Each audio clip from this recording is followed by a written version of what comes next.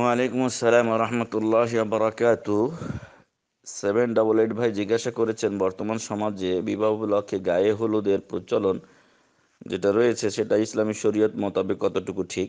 সম্মানিত ভাই, প্রচলিত যে নিয়ম রয়েছে, সেই নিয়ম সম্পূর্ণ ইসলাম বহির্ভূত, ইসলাম এটাকে সাপোর্ট করে না। মেয়ের পক্ষ থেকে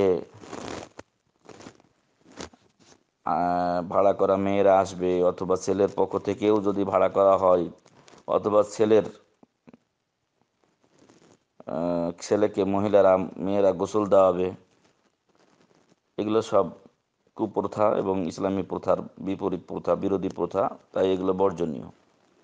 তবে হ্যাঁ শরীয়তের গণ্ডি থেকে ছেলের বাড়িতে ছেলেদের পক্ষ থেকে আনন্দ ফুর্তি করা, মেয়ের বাড়িতে মেয়ের মেয়েকে নিয়ে আনন্দ ফুর্তি করা শরীয়তের গণ্ডির মধ্যে থেকে, এটাতে শরীয়তে কোনো বাধা নেই। মেয়েকে যদি কোনো এলাকার রেওয়াজ অনুযায়ী মেয়েরা মেয়েকে গোসল দেয়, সেটা করতে পারে। অনুরূপ ছেলের ক্ষেত্রে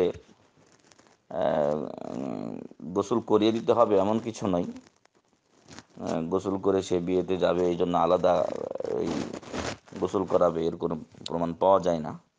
সে নিজে গোসল করবে, তবে আনন্দ, উৎসব অবশ্যই থাকবে এবং জনগণ জানবে, অলিমার ব্যবস্থা হবে। এগুলো ইসলামী শরীয়তে জায়েজ আছে, কিন্তু গায়ে হলুদের যে প্রথা এবং আরও যেগুলো শরীয়ত বহির্ভূত প্রথা, বিশেষত নারী পুরুষের অবাধ মেলামেশা এবং পর্দা পুরুষটা ঠিক না রাখা, এগুলো সব ইসলাম বিরোধী কাজ, তাই সেগুলো থেকে বেঁচে থাকা উচিত এবং জরুরি দরকার। আসসালামু আলাইকুম রহমতুল্লাহ বরকাত